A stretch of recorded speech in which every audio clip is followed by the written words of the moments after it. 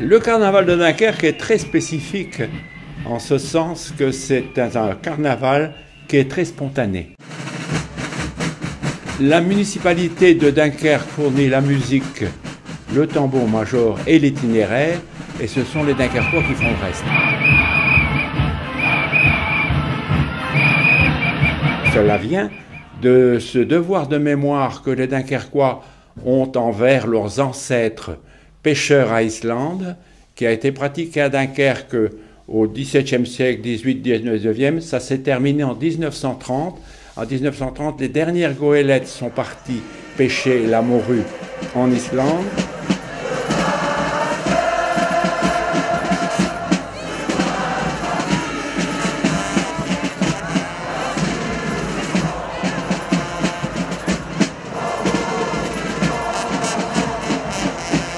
Les pêcheurs d'Islande touchaient une partie de leur gage avant de s'embarquer sur les bateaux. L'armateur leur payait une partie et avec ceci, ils faisaient un grand banquet et ils allaient de taverne en bistrot en chantant des chansons de marins. Et on dira les v'là qui s'en vont, les v'là qui s'en vont, les v'là qui s'en vont. Et on dira les v'là qui s'en vont et très peu qui reviendront. C'est aussi la chanson des marins qui partaient et qui avaient le risque de, euh, ils avaient justement euh, le risque de ne pas revenir parce qu'il y a eu une année où il y a eu plus de 100 marins qui ont disparu euh, lors d'une campagne d'Islande.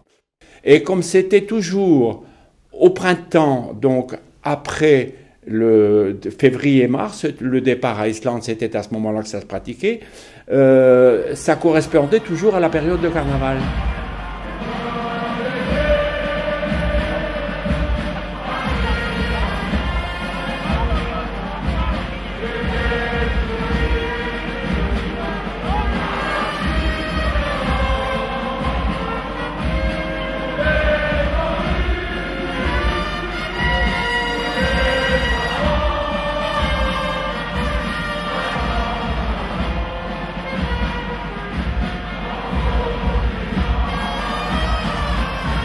Donc euh, cette euh, pratique du carnaval a perduré à Dunkerque grâce aux pêcheurs d'Islande et c'est pour ça que ce carnaval est, appelé la bande des pêcheurs.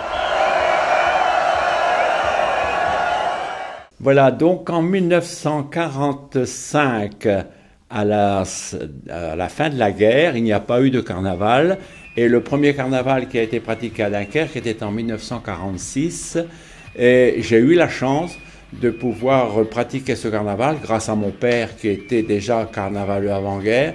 J'avais 16 ans à l'époque. Il m'a dit euh, Tu m'accompagnes pour faire la bande de Dunkerque.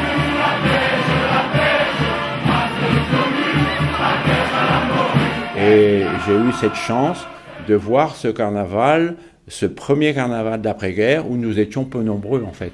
On se trouvait à 200, 300 personnes. Et actuellement, il faut toujours jouer des coudes pour arriver au premier rang.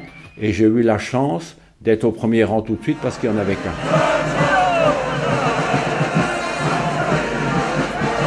Quand on a pris le départ de la bande place de la gare, on voyait le port, on voyait Jean Bar, on voyait l'église Saint-Éloi, mais tout le reste était, rasé, c'était complètement rasé. Donc il y a eu euh, une énergie de la part des Dunkerquois à ce moment-là pour euh, refaire ce carnaval, faire revivre ce carnaval, et je crois que c'est la même énergie avec laquelle ils ont reconstruit le port, ils ont reconstruit la ville.